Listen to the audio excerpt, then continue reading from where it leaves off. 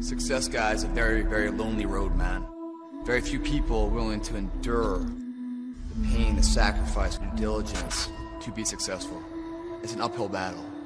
And along that road, you're not going to see too many friends. You're going to see your shadow most often.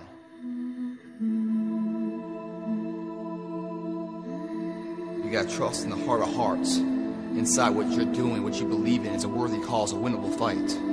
See, the thing is, for many people, they've tried the same path you're on, and they failed.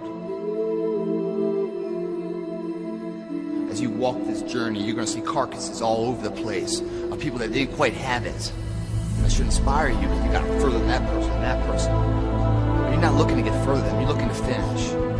How do you know you're on the right path? Where do you go to ensure that?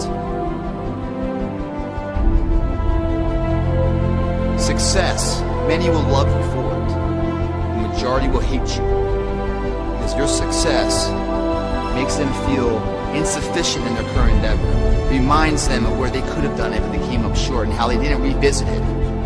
Where they went at and failed, and failure is what stood, and never revisited it again. The difference between a winner and a loser, the failure's there every single time. It's just the winner gets back up and does it again, and does it again, until it goes his way. So now you're down that path and you're all alone. How do you know you're on the right path? How do you know what you're doing is in the right direction? It's not the title that makes you, it's not the success that makes you. The character defines the success, defines the fame, and it starts right there. Championships aren't won in the theater or the arena.